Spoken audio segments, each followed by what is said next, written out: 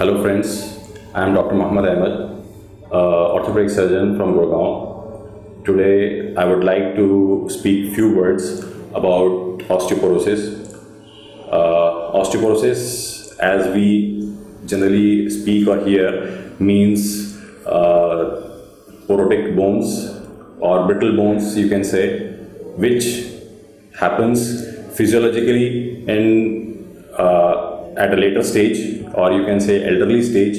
But now the uh, now these days it is common in females or even males uh, in younger age also. The cause is uh, due to our uh, habits lifestyle and unhealthy food you can say junk food and lack of exercises decreased sleep all these things add to osteoporosis the one thing which I wanted to convey how the bone is built. The bone is built uh, like a column as we you, you might have seen how we build the columns in our home on which the building rests.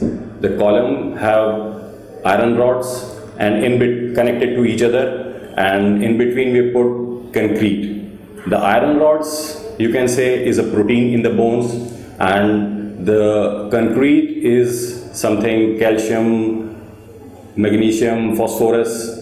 This, this all gives strength to the bone. But in our day-to-day life, these things deplete because as I just said, due to our lifestyle, lack of exercises, lack of vitamins, deficiencies, and even in some diseases like rheumatoid arthritis, like uh, for some medications we use steroid. All these things deplete calcium phosphorus magnesium from our bones and our bone becomes brittle and weak which uh, and could lead to the osteoporosis.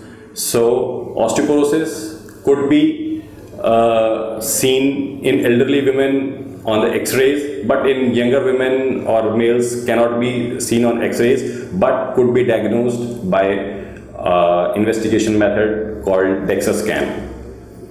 So, if anybody is diagnosed with osteoporosis, he should he or she should uh, do regular exercises, take vitamins, calcium, and avoid junk food. And uh, healthy habits should be kept in mind, and should do regular exercises. Should take supplements this is a nutshell idea about the osteoporosis. And if anybody have any doubt or anything which could uh, which anybody want to know can consult me anytime